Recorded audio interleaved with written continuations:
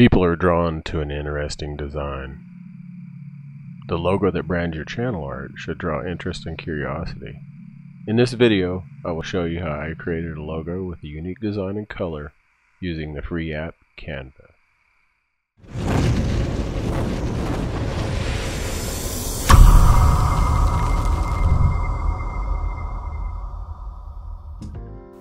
Hello everyone, I'm Sky Keith.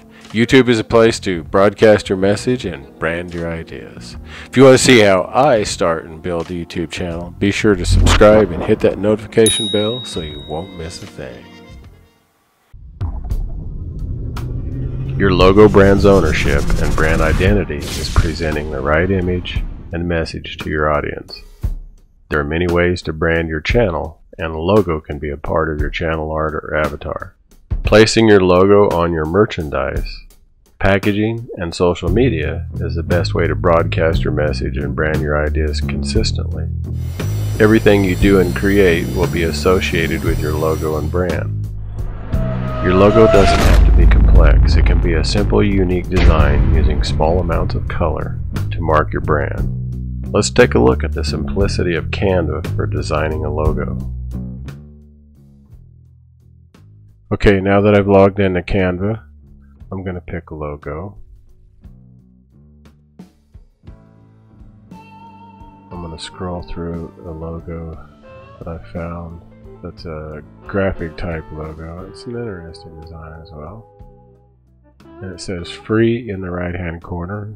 That's the key to this exercise is picking something that's free in Canva.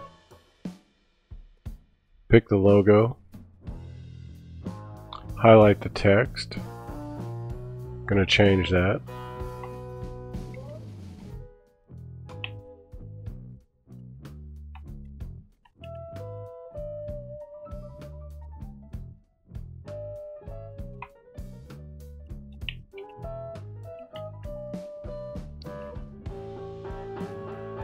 change the center color my brand color blue. So now I have a background that is white and I have a logo that is also my color that's black. It'll go on a light colored background.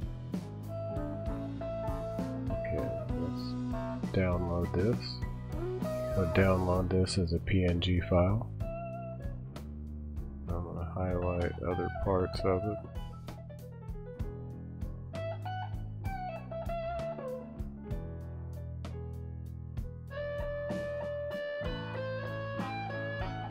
Turn that to white.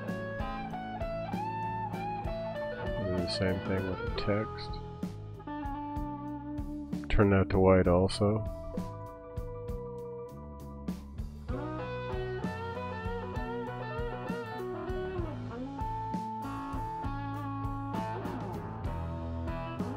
select white for the SK media. Now I have my uh, logo with a black background. I'm going to download that logo. PNG file again. Shows up in the bottom left hand corner. Now I'm going to download that to my desktop.